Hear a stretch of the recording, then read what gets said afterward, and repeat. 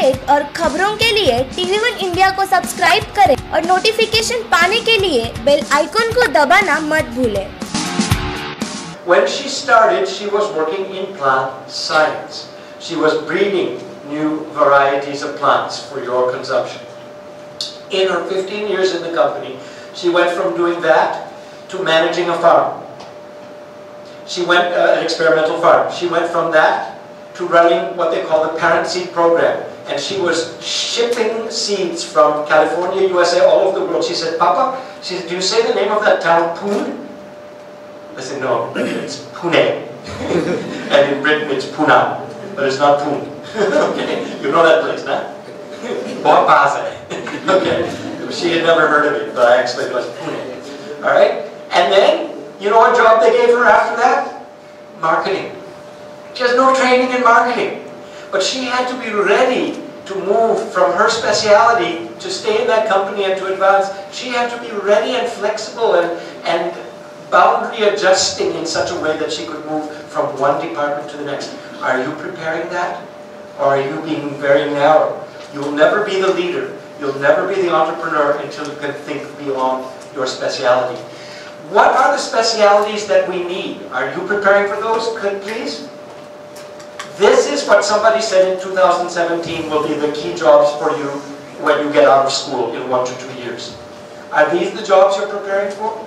In the school where I teach in Lower Parel, we have a special course in research and business analytics.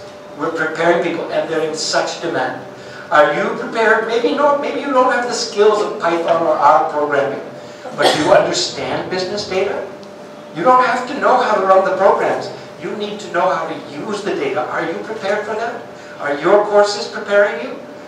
If not, maybe you should do a little studying on the side. Don't wait for the world to tell you what you need to learn. You take, you take autonomy. You take your own decision. You say, you know, I'm interested in that. I want to be a well-prepared manager for the future. I don't want to be a flunky. I want to be a boss. I don't want to be a job seeker. I want to be a job creator. I want to create wealth for myself, my family, and the country. You look after these things. Look at that list. But you want to get even a little bit more far out. Does anybody like science fiction? Okay, click please. Here are, we'll for Sergio to.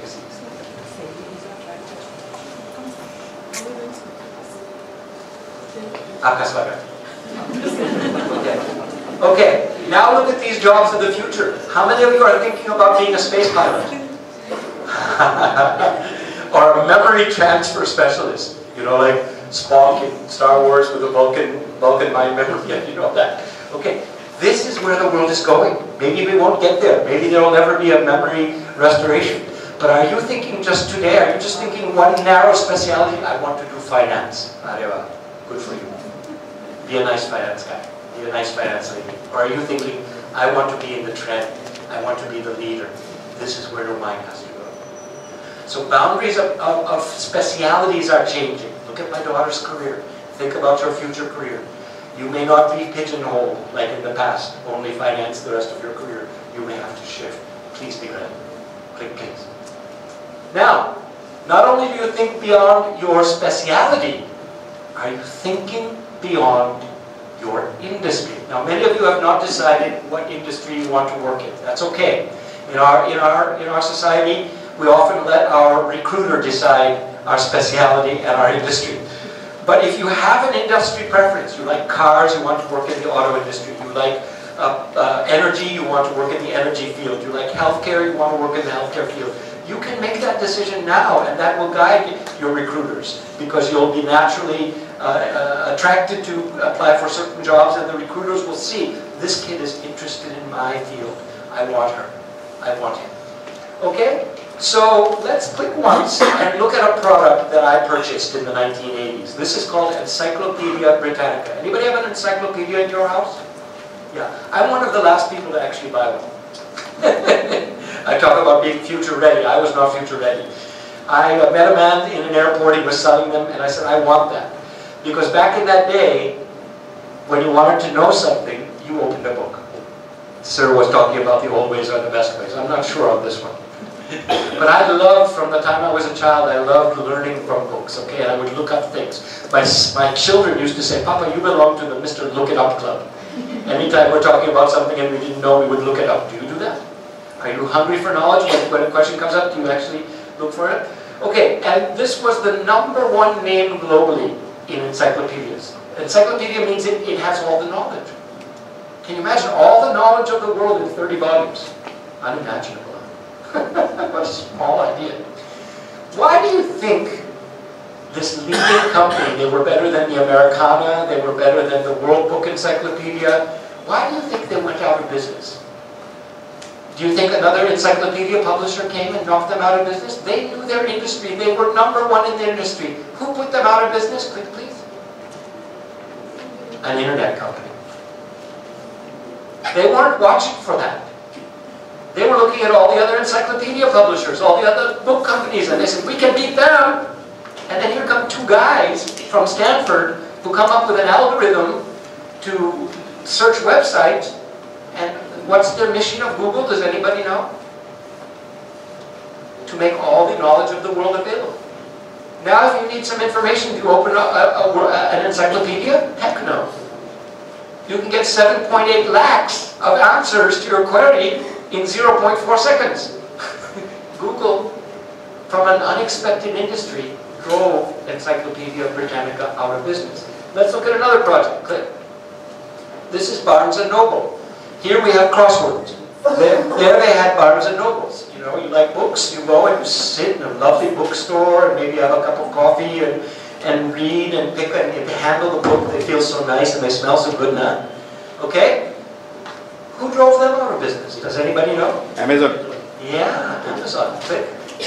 Again, they weren't looking at an online seller putting them out of business, but like Jeff Bezos loves to say, Your margin is my opportunity.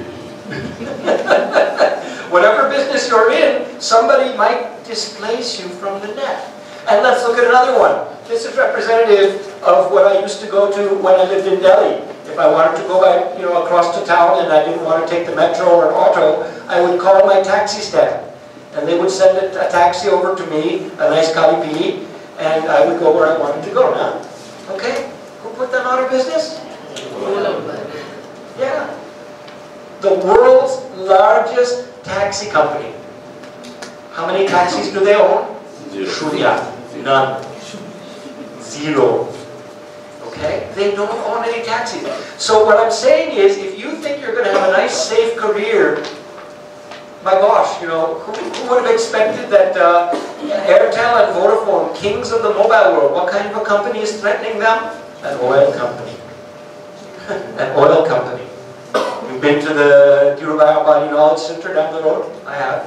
I've done work for them. Amazing company. Are you expecting to be disrupted by an oil company? This is what I mean, that when you want to have a successful career and you want to be a business leader in India, you must think beyond a single industry. You must look at the collaborations. You must look at the threats. You must look at whole ecosystems. That's the word of the future. Platforms, ecosystems. It's not just you. It's not just your desk. It's not just your department. It's not just your company. It's not just your industry. There's a whole world around you that you must be aware of. And I'm not sure how well we are prepared to start taking that view. I teach UG and PG students as well. They don't often have a systematic view. I'm not sure why, but they're only focused on a small thing in front of their face. Your job is to learn to look at the big picture. Next slide, please. The next thing you need to think beyond, we talk about adjusting borders. We said adjust the border from your own speciality. We said adjust the border from your own industry. And the third one is look beyond your country. Now, I love India. I'm convinced that we have the best human resources pool in the world. And I think it is an absolute crime that we do not equip you better and we do not exploit you better. And that means we don't put you to use better. India should be number one in the world with our resources, our human resources, our natural resources, our poli- geopolitical situation. We should be number one in the world, and we're not. That doesn't make me happy. I hope it doesn't make you happy. We have much to be proud of, but we have a long way to go. One of the statistics that I actually quote rather often, and I hope it shocks us, is that in 1947, when this country got its independence and the country of South Korea got its independence, the two countries had the same gross product per capita. An average Indian and an average South Korean produce the same amount of wealth. Do you know the ratio now? It is 1 is to 15. Do you know which country's citizens are producing more wealth? South Koreans. Do you feel good about that? Somehow we have not learned how to create wealth to answer our society's needs, to raise our living standards, to become the global leader that we should. Now why is that? I'm not here to I'm not here to blame anybody. That's not my purpose. Let's look forward to how you, the next generation of our leaders, can take us to our leadership position where we belong. So if we could have a click, how did they do it? They did it because they're a small country. And they chose the path of globalization long before we thought about it. We had a closed economy, there were reasons for that. We had a license raj, there were reasons for that. We built a tremendous steel industry, we built the largest railroad network in the world, we eliminated famine. Okay, we did many good things. But what we didn't go for was globalization. We didn't go for global trade. We protected Indian businesses for some reasons. But as a result, we didn't get the growth that other countries that didn't have that large you know, base of population, they, they couldn't do it. So if you look at what we're even doing today, we trail most other countries in exports. We don't do that. In fact, uh, we have a negative balance of, of, of, uh, of. And, and, and uh, if you look at what we're exporting, it's mostly raw materials. Yes, we make some electronics. We do some cars. We, we, we export some cars here to, the, to, to our neighboring regions. Um, but a lot of it is gemstones, uh, energy, uh, like coal, you know, uh, agricultural products. It's very low value exports, not high value add. So we, we've not been thinking, how does a country like China that was so far behind us, they've just moved past us. And, and they've zoomed past us so that they're now the second largest economy in the world. And we've taken a slower rate of growth. So what I'm suggesting is that in your generation, all of you were born after liberalization, after 1991. And now you have unprecedented opportunities to, to think globally that your grandparents didn't have and your parents didn't have. Okay? You are the generation that has to take India to the rest of the world. So you need to think beyond your life and your culture. It's great culture. I love it. Let's preserve it. Let's keep everything that's good about India. But what it means we have to learn about people who are outside. See, the Chinese realize that even though they're more, they're more um, chauvinistic than we are, they think that foreigners are devils. At least we have a better philosophy. We have Atithi Devo. If a foreigner comes, we welcome the person. They think foreigners are, are evil and to be and to be taken advantage of. Okay? So they think their culture is so great, but even they were not too proud to adopt what was good from Singapore, from US. Deng Xiaoping went to Singapore and he saw what Lee Kuan Yew had done in this Chinese ethnic culture, that they built a great rich society, and he said, I've got to do that in China. They had been under the communist system, very, very low productivity, low wealth. He says, no, we're changing our communist system. They threw out communism. They have communism. So the point is, they were not too proud to learn what was good in the West and copy it. I'm not saying that the West is superior. I'm saying there are some things that we can learn, that we should not be ashamed. We should be open to change so that we can prosper. It's our children's future and your children's future that's at stake. And so, again, if the next click, look at where we're doing business today. Okay? Are we selling to the Europeans? Do our goods and I mean, I came to India, I saw I saw a rack in a clothing store in, in, in Delhi. It said export quality. What does that mean? Oh, we're Indians. We buy the lower quality. We send the good stuff to other people. Ugh, made me feel so bad. Why do we settle for less? Why do we think? And yet, when we see China and, and Korea are inventing things that the world wants. Anybody have a Samsung phone? Anybody listen to BTS or K-pop? Okay? They're making things that the world wants. We haven't figured that out yet. We make serials and Bollywood films that the world wants. That's it.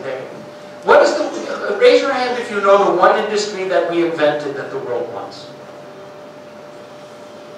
$180 billion. You don't know what it is? Servicing. BPO. Yeah, business process outsourcing.